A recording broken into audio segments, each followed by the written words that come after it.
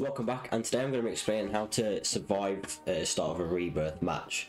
So this will get you into then the situations where you'll need to how to win the match at the, at the end of it, basically. Uh, so this is different, some different landing points. I normally go chemical. I find it's the best place, but I normally try to go somewhere in zone. Usually the zone, the first few zones, they pull towards the actual centre. So like this one here would pull towards prison um, sort of way, and it sometimes pushes off into shoreline sometimes, or off into the other direction. But I try to go somewhere in zone. So this one, I'm landing at chemical first. I try to land there as soon as fast as I can because it, you want to get there first. You really want to get to the place first. So what I do is I I jump out, I glide down, I pull my parachute. I, I don't know how to explain the angles, but you can kind of see when I'm pulling my parachute. I'm aiming for like these windows here, I don't normally land on the bit where there's a flat balcony on the side. I don't land on that bit. I like landing on this sort of building side of it. It just feels a bit safer and a bit easier to push around, and also it's easier to escape from because there's windows on either side and there's an opening on the other side, so you can basically get out if people are chasing you down or something. So I then I, I cancel my parachute again, and it does this weird. It, I don't understand it. It it's weird. It somehow goes makes you go faster uh, because it's sort of like you're gliding down again. Uh, but that's basically what I do. I pull it, then I cancel it, glide down, and I just get the right angle so I can go straight uh, through the window. So I'm in first. I loot up as fast as I can. They, they've added in these Easter egg boxes, which honestly they're so sick because they just give you. They're, they're like legendary boxes basically. They'll just give you insane loot and lots of cash basically. So you can get load out very fast what you want to do is try and get load out as fast as you can. So this update is very good for that. I hear this guy here, and I'm the Milano. I hate this Milano so much. It's such a bad weapon. Uh, but then I switch over to the AUG uh, just to finish him off. So then I carry on looting around here. We save them for a loadout. Get your loadout as fast as you can, basically. After we got a loadout, I hear uh, the guys say there's an enemy soldier coming. So I've got a boy UAV as well. I look up and I see on the UAV that there's two people above. And as you can see, if this scans again, there we go. They've got arrows uh, just above the red circle.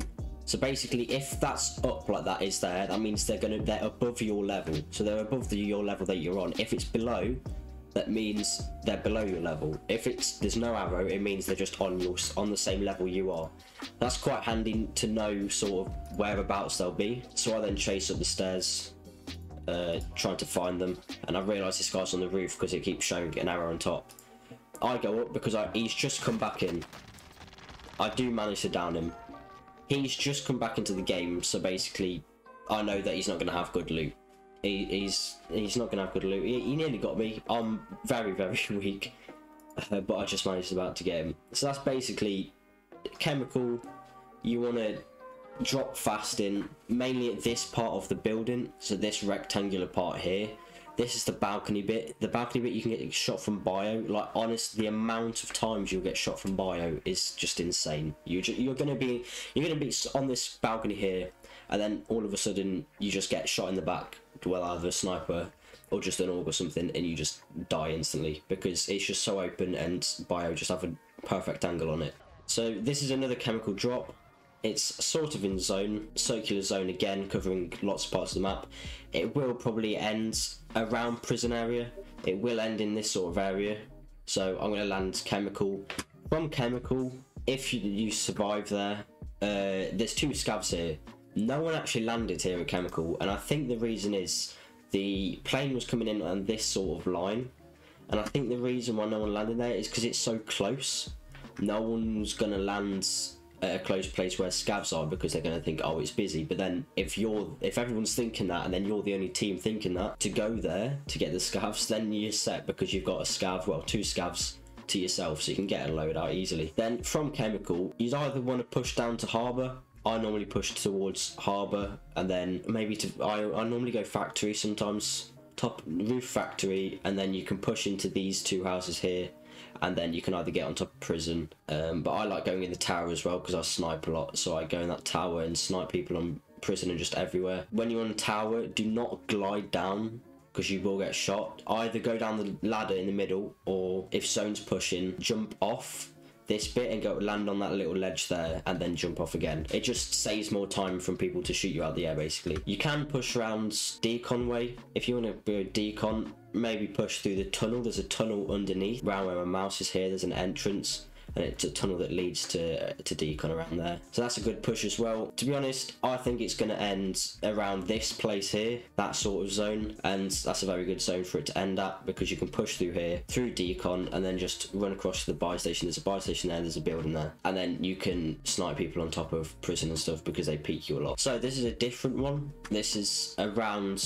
living quarters area, so it will end towards living quarters. I don't expect it to push up to prison. It doesn't normally the thing is, it, it normally if it pushes. I've had a few zones where it pushes half on these few buildings here and half here, and that's the worst thing in the world because if you're on low grounds, if you're down on here and people are up there, and the zone pushes to you in security, you're going to win. If it pushes up to living quarters, the living quarters team's going to win. It's there's no other counter because in this area here, it's it's just open. It's a massive open field there, and especially if the zone is closed quite small. There's not going to be much cover to hide behind. There's a few cars and trucks and stuff like that, but that's not going to help because I imagine people are going to have precisions, UAVs, clusters and stuff like that. So I basically land construction because from construction you can push through these tents here because there's a lot of cover at the tents. And then after the tents you can push through these small buildings here and then push into this big building here. Uh, that's the main one to try to get into because it's quite good to hold off. People will try pushing you and stuff but you just got to try your best to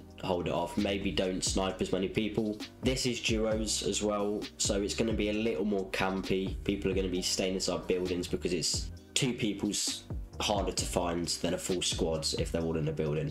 So that's why duos and solos you find a lot more campers basically. But for trios and quads, maybe split across these buildings here as well, get some sniping going on, try to take out a few teams. Once you're in this building, just check where zone pulls.